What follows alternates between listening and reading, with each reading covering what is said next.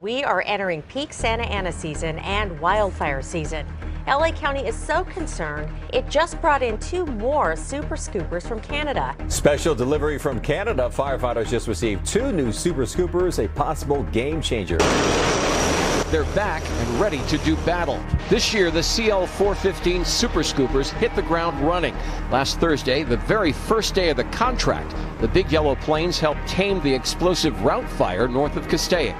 Well, we're up over the fire, and we've been watching these uh, Super Scoopers first day of the contract, and boy, these guys are earning their money. I'm going to go a little long here because he's right over the lake, and I know everybody loves watching him just kind of scoop that water up. These are the airplanes picking up the water. I've never seen in my life. It is a very, very mean fighting machine. Top of the line aerial water bomber. Imagine a superhero of the skies. That's the Canadair CL 415, affectionately known as the Super Scooper. The Canadair is the reference with respect to aerial firefighting and is the only aircraft specifically designed for that purpose. These aircraft are a tremendous tool for us. CL 415 Super Scoopers from Quebec. Our partners in Canada come out to visit us each year. It's a 27th year of operation for us. The LA County Fire Department leased two more Super Scoopers from Quebec. For years, Sky 9's Stu Mundel has been giving viewers an aerial look at the firefight, and he's seen these super scoopers in action. It's just amazing. It's just this overwhelming sense of wow, what the power that this machine can make, the ability that it has to put out so much fire. The plane can hold 1,600 gallons of water and is often seen during a wildfire scooping up water from a nearby lake and dropping it onto the blazing fire. The CL 415 is a phenomenal machine. Its ability to pick up water six times in an hour delivers a big punch to a fire. The video from the plane's manufacturer Bombardier shows how it works. Pilots flying the plane close to 100 miles an hour skim the surface of a lake, gathering up water through scoops on the plane's belly. There's one on the right, there's one on the left. Like I say, they're five inches by eight inches. They get deployed before we touch down on the water. About 12 seconds later, these tanks inside the plane will be full with more than 1,600 gallons of water and the pilots are off to the fire. They can drop every 5 to 10 minutes depending on the location of the water source. They're one of the few aircraft that actually can dip water or take water out of the ocean, the salt water. We can't do that with the helicopters because of how damaging it is to them. You can see instant results, and they do it with such precision. Canadair is known for being able to attack the fire at very low altitudes, while other water bombers lose their effectiveness at higher speeds and higher altitudes. When required, the Canadair can battle fires in fleet formation of two, four, or six aircraft, providing up to 6,000 liters of water dropped in sequence as frequent as every 15 seconds. Six tons of water released in just a few seconds. On the ground, the impact is enormous. This force, added to the blast effect, helps to smother the flames. Its superior maneuverability makes it perfect to operate in the steepest terrain. It's unbelievably maneuverable. You can enter in every little space. All of the Canadian pilots, the guys from the province of Quebec, are ex-bush pilots, so we were used to fly float planes and ski planes. All Super Scooper pilots have extensive seaplane backgrounds and don't touch down on a lake unless it's safe. He says if you see this plane in the area, move your boat closer to shore and grab your camera. There he is. Look at that perfect timing. We love them Super Scoopers. One of the planes came up over us. My wife saw, saw the shadow, so flew right over us when we were going through the canyon. So that was cool. This um, is obviously a very welcome sight. Uh, to know, John, that they are able to put this aircraft up and that the winds have sort of taken a little bit of a break from yesterday. And what's really interesting about that, and you see right there just in front of the wing, that is from the province of Quebec mm. up in Canada. Quebec, les Amis du Nord, who are uh, joining in the fight here in their Canadair water bomber that they used in the uh, fires up there in northern Quebec in uh, December of 2023. We have firemen and women from uh, Mexico, from Canada. Very grateful to them. Chief Kristin Crowley said that the biggest asset right now are the water dropping uh, assets who have been making a big difference in fighting these fires. Mike, we also have seen some problems with other aircraft that have nothing to do with what our firefighters are trying to do. The uh, aircraft that you're talking about, Pat, is uh, a drone. Did you hear the other thing that uh, was confirmed by uh, the LA County Sheriff's Department about a sco- super scooper? Earlier today, they were making some water drops, yes. and there was a drone, an unauthorized drone flying, and it hit the, the wing of that plane. The plane had to come down, not seriously damaged. So now the FBI is moving in, oh. FAA, and they're telling yeah. anybody if you put a drone up in this area, you're going to jail. The Los Angeles County Fire Department said that the plane known as Quebec 1 had been struck by a civilian drone Thursday and sustained damage to its wings. This small drone hit the wing of our CL 415 Super Scooper aircraft that we currently have on contract from the province of Quebec. The pilots were unaware that they hit the drone.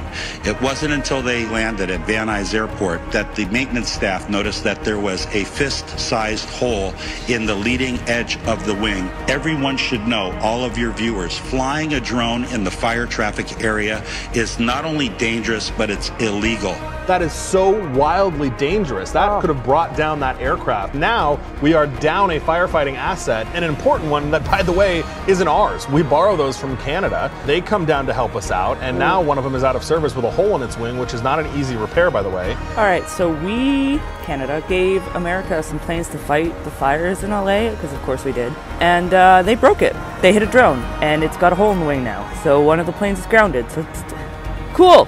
Who's the dumbass who thought it would be a great idea to fly a drone in the middle of a raging fire where firefighters are risking their lives just so you can get the shot? The Super Scooper and that technique is our number one tool to fight wildfires like this.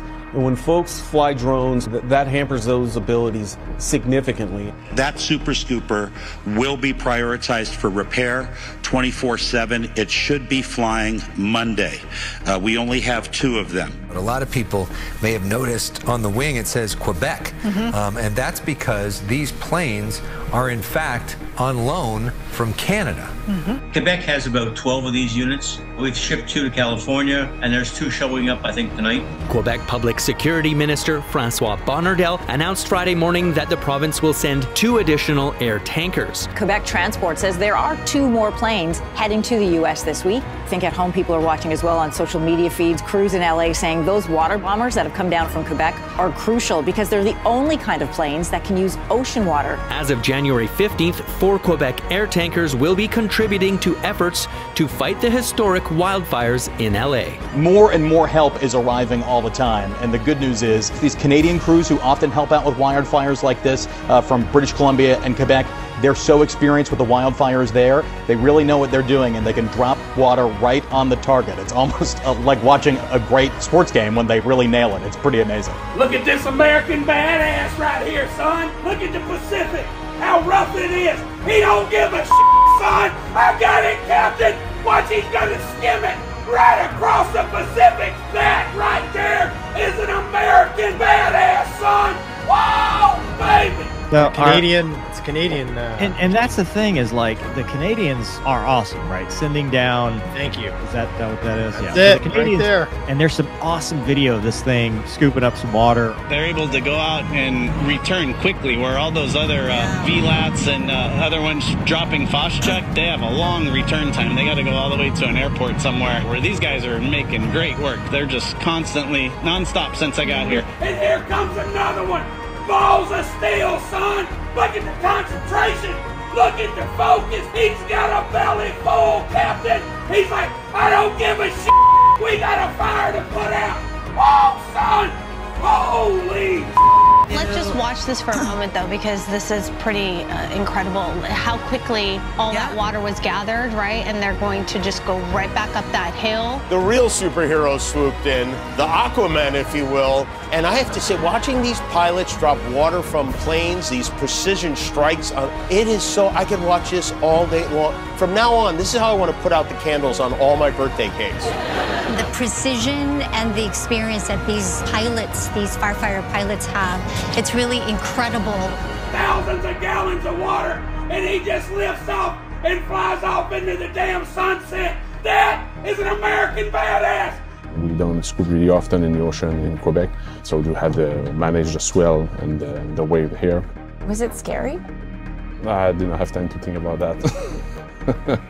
It's amazing what they're doing and, and the work that they're doing so quickly. And a big weapon in the fight against the fires is back in the air today. Now that it is flying once again, some are asking should California buy one of these planes? The planes are being used in Europe and Australia, and their efficacy in utilizing ocean water is driving demand across the globe. The aircraft is used by 11 countries worldwide and is widely applied in emergency rescue operations. In Canada, they have a lot of provincial fleets there, and they're a lot based in Europe. In the US, they never have been. In California specifically, I think with all the publicity, we're getting a lot of interest as people see what they can do. The Super Scooper was recognized by Spain in 2006 as, quote, the most efficient tool for the aerial combat of forest fires and it is generally regarded around the world as the single greatest fire extinguisher ever invented. This line of aircraft is something of a Canadian success story, describing it as the only scooping aircraft of its size and capacity in the world. It was back in the 1960s. Canadians decided we needed to engineer a plane with this sort of aerial firefighting capacity. Canadair, now Bombardier, would build these planes for decades, Canadian Aerospace, really exceptional engineers, and I think all Canadians can be proud that this is an aircraft built in Canada by Canadians uh, for the world. In the spring of 1998, a Super Scooper was flown from Quebec to southern Mexico, where it battled extensive wildfires for over a month. The Super Scooper was credited with saving 37 firefighters surrounded by fire, whereby it swooped in and made seven drops, opening a corridor in the fire that crews could escape through. And as multiple fires continue to rage on in the Los Angeles area, the Super Scoopers have become a welcome sight to residents and firefighters alike. It is a Canadian product. We've got the world expertise in terms of building world class. And our friends in Europe, they don't call them Super Scoopers, they call them Canadairs. They're very, very reliable and uh, will be there for the future.